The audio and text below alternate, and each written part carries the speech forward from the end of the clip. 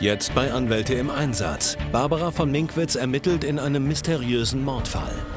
Wir müssen diesen letzten Tag im Leben Ihres Mannes ganz genau rekonstruieren. Nur so können wir auf die Spur des Täters kommen. Ich möchte von Ihnen gerne die Wahrheit hören, und zwar die ganze.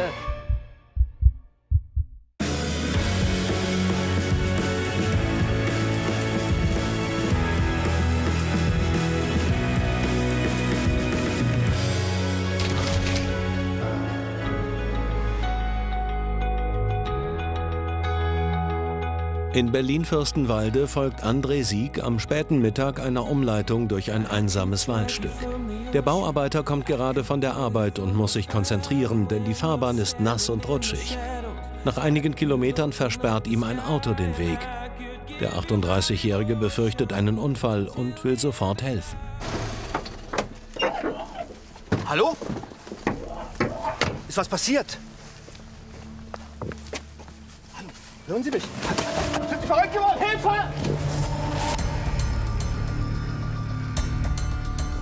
Andres Hilfsbereitschaft hat schreckliche Folgen. Schwer verletzt bleibt er auf der Landstraße liegen. Andres Frau Steffi Sieg ist in großer Sorge um ihren Mann.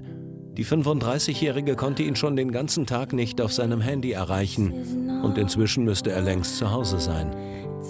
Als vier Stunden nach dem Überfall die Polizei bei ihr auftaucht, beschleicht sie eine schlimme Vorahnung. Schönen guten Tag, sind Sie Frau Sieg? Ja, Dürfen wir vielleicht mal kurz reinkommen? ja, kommt rein. Na, Bitte. Was passiert, sagen Sie doch. Hat es irgendwas mit André zu tun? Ist ihm was passiert? Kommen Sie da erstmal rein. Jetzt reden Möchten Sie Sie sich vielleicht doch. kurz hinsetzen? Nein, ich will stehen. Jetzt, was ist denn los? Frau Sieg, ähm, wir müssen Ihnen leider mitteilen, dass wir Ihren Mann soeben tot aufgefunden haben. Es tut uns wahnsinnig leid. Was heißt tot aufgefunden? Er kommt gleich durch die Tür. Frau Sieg, Ihr Mann ist tot. Er ist nicht tot. Ich habe ihn heute Morgen noch gesehen. Wir haben noch telefoniert.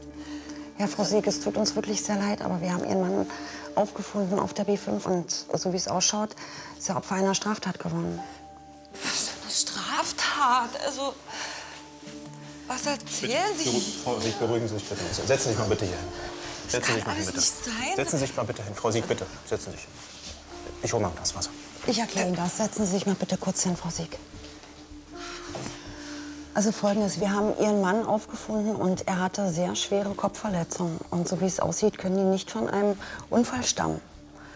Und er war nicht alleine mit seinem Auto auf der Fahrbahn. Die Spuren haben ergeben, dass sich dort noch ein zweites Fahrzeug befunden hat, welches wahrscheinlich quer zur Fahrbahn gestanden hat. Also, Was erzählen Sie da? also wie es ausschaut, wurde Ihr Mann in eine Falle gelockt.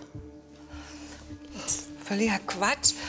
Was für eine Falle. Können wir denn jetzt irgendwas für Sie tun? Können wir jetzt jemanden anrufen für Sie? Einen Angehörigen, eine gute Freundin oder sowas?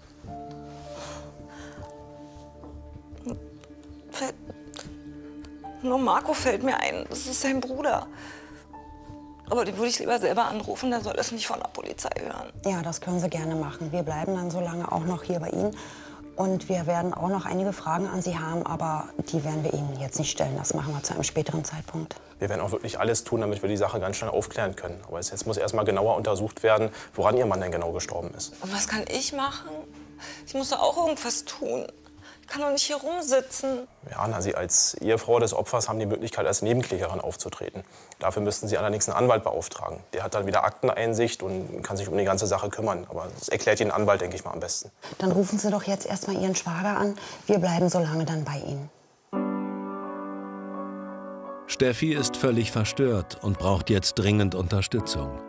Um in dieser schweren Situation nicht alleine zu sein, sucht sie Trost und Zuflucht bei ihrem Schwager Marco. Der 42-Jährige stand seinem Bruder sehr nahe und ist schockiert über seinen Tod. Marco und seine Frau Annabelle sind erst vor kurzem Eltern geworden. Steffi versucht sich mit dem Gedanken an das Baby abzulenken. Wie geht's eigentlich Annabelle? Hat sie die Geburt gut überstanden? Ja, Annabelle geht soweit ganz gut, der Klein geht soweit ganz gut, aber. Ich weiß eigentlich nicht, wie man damit umgehen soll. Zum einen wird meine Tochter geboren und zum anderen stirbt mein Bruder. Ich weiß auch nicht, wie es ohne André weitergehen soll. Steffi, wir kriegen das hin. Wir sind weiter für dich da und wir sind eine Familie und wir schaffen das. Das weißt du. Hat denn die Polizei irgend schon irgendwas gesagt? Gibt es schon irgendwelche Hinweise? Der hat gesagt, dass es Mord war. Ich verstehe nicht, was der da bei Fürstenwalde wollte. Ich kapier's einfach nicht. Dafür gibt es bestimmt irgendeine logische Erklärung. Ja, und welche soll das sein, bitte? André war so ein lieber Kerl. Er hatte nie mit jemandem Streit. Konnte keiner Fliege was zu Leide tun. Ich verstehe es einfach nicht. Ich hoffe, dass ich jetzt einen guten Anwalt finde, der mir hilft, damit ich nicht monatelang im Ungewissen leben muss. Ich muss einfach wissen, was passiert ist. Gleich am nächsten Morgen wendet sich Steffi hilfesuchend an Rechtsanwältin Barbara von Minkwitz in der Hoffnung, dass die erfahrene Juristin Andres mysteriösen Tod aufklären kann. Außerdem will die junge Witwe wissen, was als Nebenklägerin alles auf sie zukommen wird. Ja, Minkwitz. Ach, Frau Sieg, es tut mir so wahnsinnig leid. Mein herzliches Beileid. Danke, kommt rein. Das ist sehr nett, danke. Ich leg meine Sachen mal einfach hierher, ne? Können Sie einfach ablegen, ja. Ja. Möchten Sie einen Tee vielleicht? Ja, wenn Sie einen gerade gemacht haben, das ist ja sehr Ja, nett. Vielen frisch. Dank. Immer mit der Ruhe. Ja, Entschuldigung. Bin auch ein bisschen. Ist für gar nichts zu entschuldigen. Ähm, Sie hat mich ja wegen der Nebenklage gefragt, Frau Sieg. Und das ist eine sehr gute Frage. Ich würde Ihnen sehr zur Nebenklage raten, weil Sie damit gleich im Strafverfahren Schadensersatzansprüche verbinden können. Das spart Ihnen viel Zeit. Und außerdem haben Sie auch sehr viele Rechte als Nebenkläger. Sie können äh, die Zeugen äh, mit anhören und Sie können Beweisanträge stellen, Richter ablehnen und so weiter. Also meine Empfehlung, ja. Ja, und hat es da noch irgendwelche Nachteile? Nachteile, oh, warten Sie mal, ich helfe Ihnen. Ach, die Arme. Ähm, ja, Nachteile eben eigentlich in dem Sinne nicht. Für Sie persönlich eine große Belastung, weil Sie sind die ganze Zeit in der Hauptverhandlung dabei. Und das muss man natürlich ertragen können, dass Sie dem Täter da ständig ausgesetzt sind und ins Auge gucken. Aber juristisch hat es nur Vorteile für Sie. Ja gut, also dann würde ich das machen. Gut, dann bereite ich das alles vor, die Formalitäten, Anträge und so weiter. Das können wir auch morgen machen, das ist überhaupt nicht eilig. Sagen Sie, fühlen Sie sich stark genug, dass ich Ihnen noch ein paar Fragen stellen kann? Ja, machen Sie. Ich schaffe das schon. Wissen Sie, ich meine, ich kann die Ermittlungsakten einsehen und auch den Befund der Gerichtsmedizin. Das ist alles in den Akten. Aber da gab es eine große Frage. Sie wussten nicht, warum Ihr Mann zu dieser Uhrzeit auf der Bundesstraße nach Fürstenwalde war. Haben Sie darüber noch mal nachdenken können? Ja, also ich habe mir wirklich die ganze Nacht den Kopf zermartert, was er da gemacht haben könnte, ja. Wir haben da keine Bekannten, wir haben da keine Freunde. Und gearbeitet hat er da auch nicht. Ich habe sogar mit seinem Chef telefoniert. Der hat zwei Stunden vorher Feierabend gemacht. Und ich dachte eigentlich, der fährt zu seinem Kumpel Lars. Dem hat er schon zwei Monate beim Neubau geholfen von seinem Haus, aber keine Ahnung, wo der war. Haben Sie den denn mal angerufen? Ehrlich gesagt, ich habe nicht mal eine Nummer von dem. Ich kenne ihn nicht so genau. Ich weiß ehrlich gesagt nur, dass er Lars Kemper heißt und im Grubenweg in Tegel wohnt. Naja, das ist doch schon was. Das hilft mir weiter. Sagen Sie mal, und ist Ihnen sonst irgendwas aufgefallen, dass Ihr Mann in den letzten Monaten irgendwelche Feinde hatte oder irgendwelche Konflikte? Mein Mann hatte keine Feinde. Er war so ein lieber Kerl und ich kann mir überhaupt nicht vorstellen, wer ihm was antun könnte. Ja, ich meine, es gibt zwei Möglichkeiten. Entweder ist Ihr Mann zufällig Opfer dieses Täters geworden oder der Täter hat ihm ganz gezielt aufgelauert. Ähm, Das wissen wir nicht. Wir müssen erstmal beide Alternativen in Betracht ziehen. Aber warum sollte man ihm überhaupt auflauern? Er hatte nichts Wertvolles dabei. Die Polizei hat gesagt, die Geldbörse, das Handy war im Auto und es fehlte nichts. Ich verstehe es nicht. Das sagt uns doch wenigstens, dass es offensichtlich nicht um Geld ging. Wir müssen jetzt wirklich ganz akribisch den letzten Tag im Leben Ihres Mannes aufrollen. Nur so können wir auf die Spur des Täters kommen. Und in dem Zusammenhang möchte ich furchtbar gerne als erstes den Lars Kemper hören. Deswegen werde ich da jetzt auch mal hinfahren, ja? Wenn Sie, wenn Sie einverstanden sind. Ich kann so gut verstehen, dass sich Frau Sieg im Moment überfordert fühlt. Erst den Ehemann zu verlieren und dann noch diese Ungewissheit, nicht zu wissen, wer für seinen Tod verantwortlich ist, das lässt einem wirklich keine Ruhe. Deshalb ist es besonders wichtig, dass ich jetzt ganz schnell den Täter finde. Nach dem Termin bei ihrer Mandantin macht sich Barbara von Minkwitz auf den Weg zu Lars Kemper, um mit ihm zu sprechen.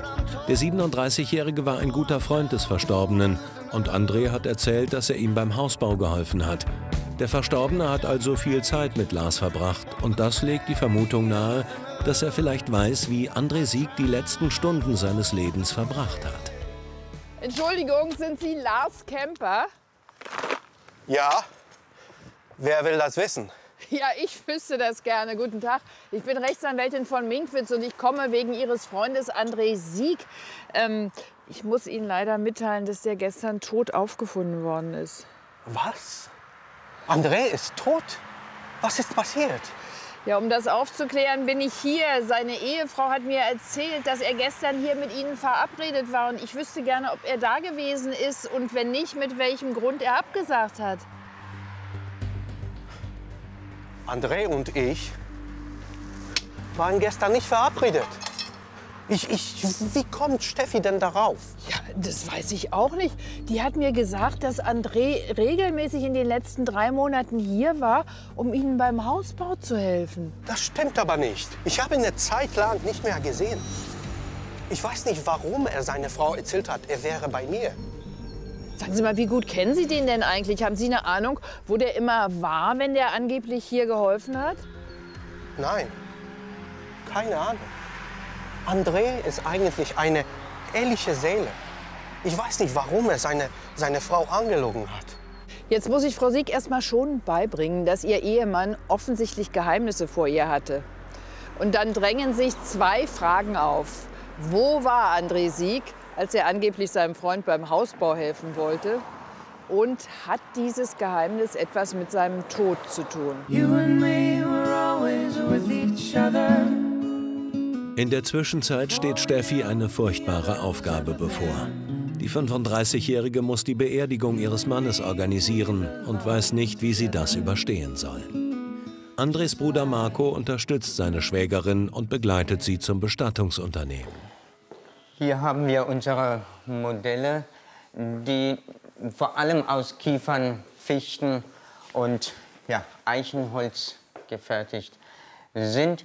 Wir haben auch höherwertigere äh, Materialien wie zum Beispiel Mahagoni oder Kirschbaum. Hier bewegen wir uns natürlich in einem ganz anderen Preissektor. Sagen Sie, haben Sie sich denn schon eine Kostengrenze für die Bestattung festgesetzt?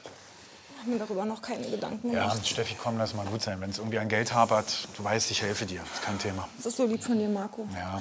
Ohne dich würde ich das alles gar nicht schaffen. Wer ruft denn jetzt an? Kein Moment, ja?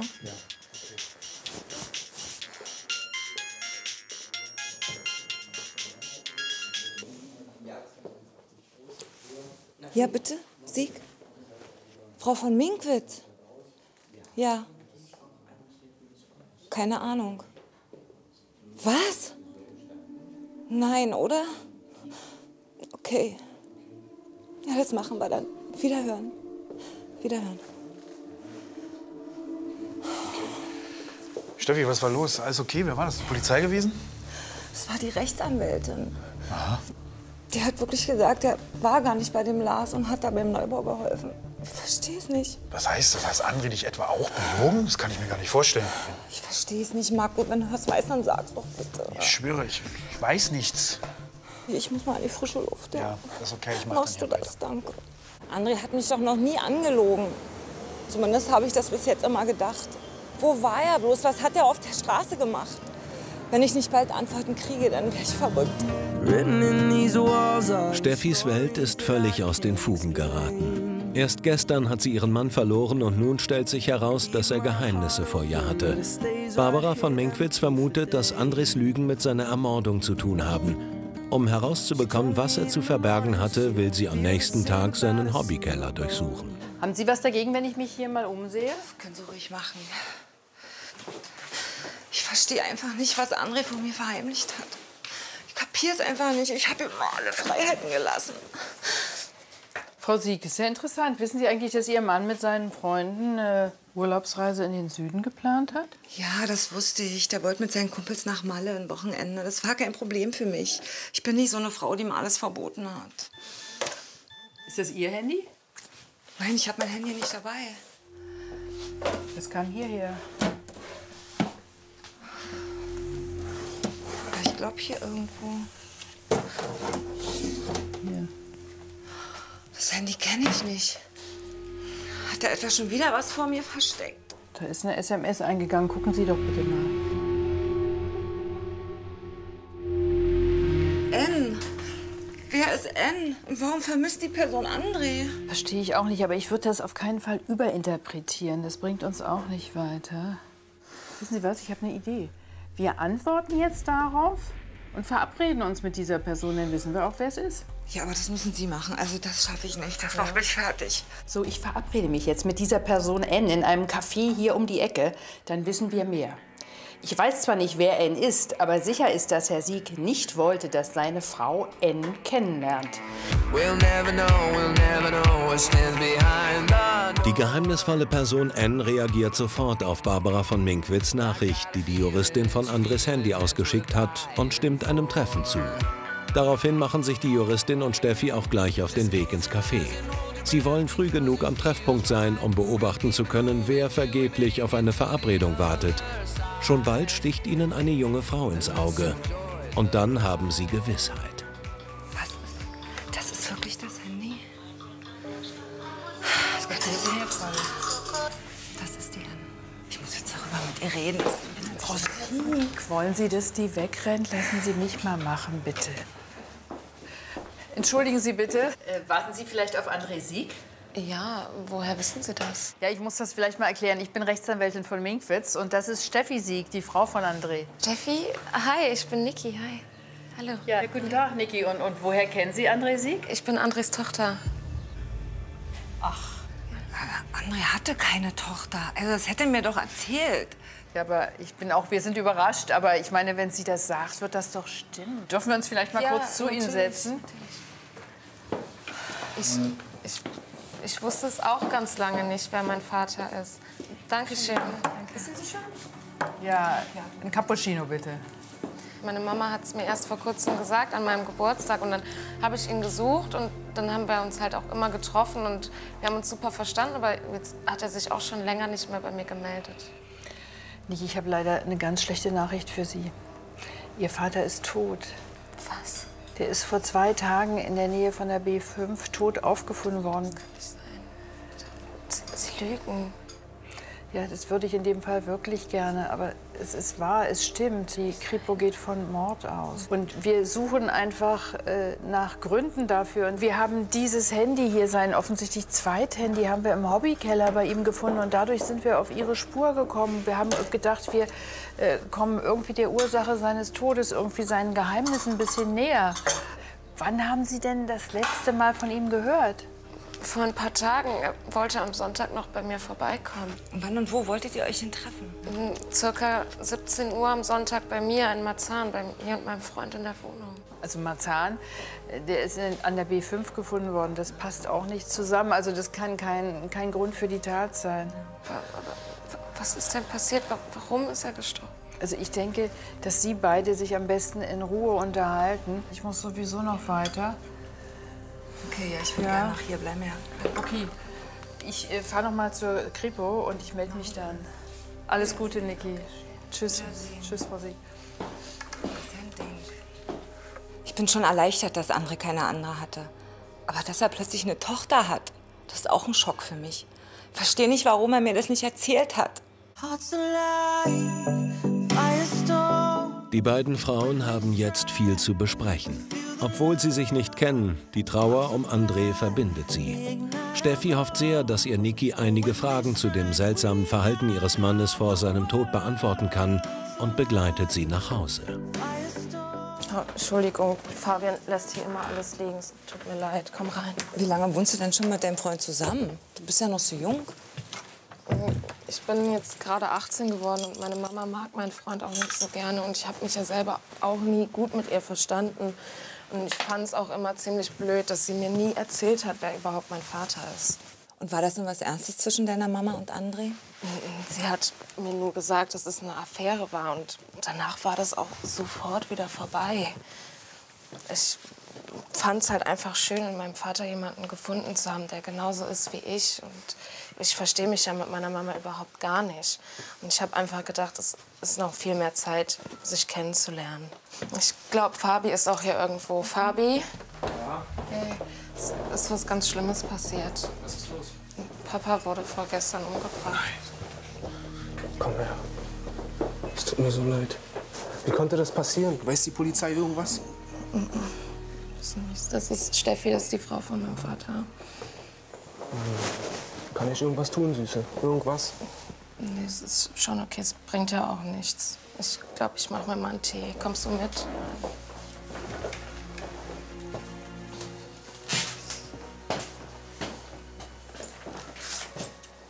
So ein schönes Foto.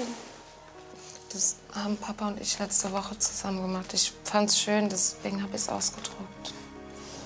Das ist wahrscheinlich das letzte Foto von ihm. Kann ich da einen Abzug von haben? Natürlich. Ich weiß auch nie, gar nicht, warum wir uns nie kennengelernt haben. War ich ihm vielleicht peinlich? Ich weiß auch nur, dass ihr verheiratet wart und du Steffi heißt. Ich verstehe es auch nicht. Er hat in letzter Zeit so viele Dinge gemacht, die ich nicht verstehe. So ist es eben. Steffi, warte mal kurz. Können wir vielleicht trotzdem in Kontakt bleiben? Ich würde auch ganz gern zur Beerdigung und dir vielleicht helfen. Natürlich, kein Problem. Ich melde mich, sobald ich was Neues weiß. Okay, danke. Und wenn ich was wegen der Beerdigung weiß, ja? Okay, tschüss. Niki ist wirklich ein nettes Mädchen. Ich verstehe nicht, warum er nicht wollte, dass ich sie kennenlerne. Wer weiß, was er noch für Geheimnisse hatte.